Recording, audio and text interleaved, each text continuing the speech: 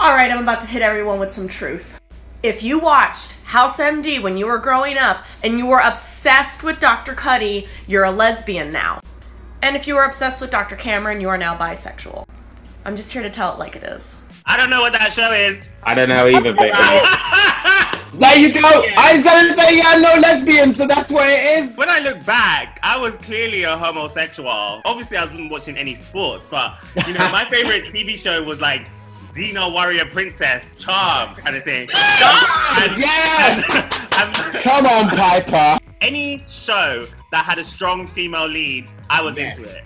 That's the Housewives. Desperate Housewives. Housewives. The son, Bree's son. Oh, he was gay. Do you know when you'd see a little gay storyline and you'd be like, oh my yeah. god, I'm No, home. that's the thing! I never, basically, I never used to watch anything without a gay plot. Because when I was young, I just used to feel like I was the only gay in the village, like hardcore. And it wasn't until I was older and I started meeting other gay people, I started to realize actually more people like me exist. That feeling of like light and like fire in your belly when on Coronation Street there was a gay kiss, you know what I mean? Still to this day, I'm obsessed with Disney movies. The Little Mermaid is my all-time favorite movie in the world. Did you and do I the thing in the bath?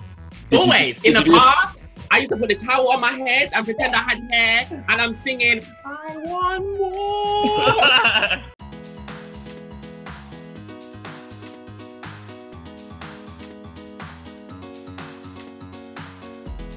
You want to be in her when you get older, darling.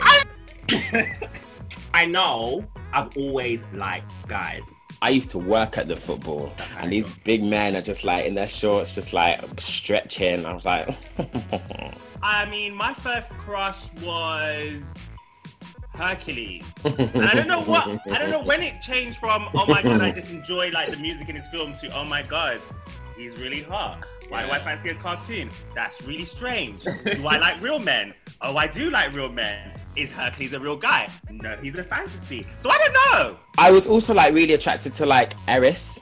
Have you seen the, the the goddess of chaos from Sinbad and the Legend of the Seven Seas? No. She's all like smoky and she comes and she's like, ooh, oh. Any kind of black haired woman, even to this day. And the thing is, Freud, my mum had black hair.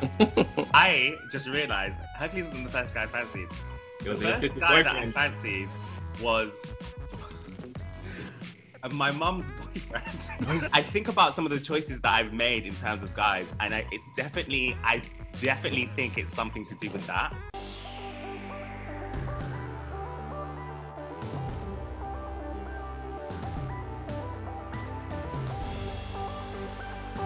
Oh, that's the 90s, baby.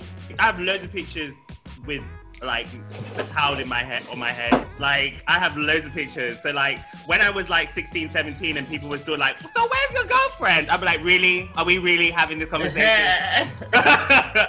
Look how cute that is. Sorry about it. Look at that. Oh. What the flipping heck happened to me? Where did the cuteness go? There's a picture of my cousin, me, and my little brother, and my mum put lipstick on us and wigs. Here are all of the reasons I should have known I was gay a lot earlier.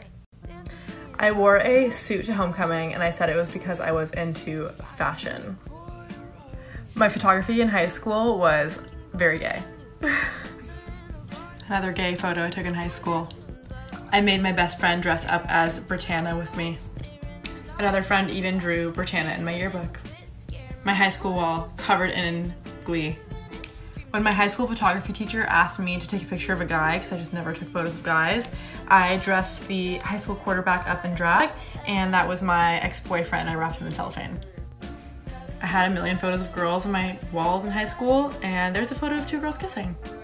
Okay, well, she wasn't hiding every anything. She was all out gay. Like everything that I did was sort of like, sort of behind closed doors. So like, there was this one guy who I thought was into me, and we happened to end up being in the same um, drama class and then the same sort of final play. Obviously, I came up with the storyline that I was a stepdad who was abusive but also had like gay tendencies. And so I said to him that, like, obviously, I really want you to get to an A because I was an A star student in drama chair. and so I was like, Do you want to go to the drama room and we can try this out, honey? Anytime in drama we would have any sort of play, I was always the female or the mum or giving birth or something.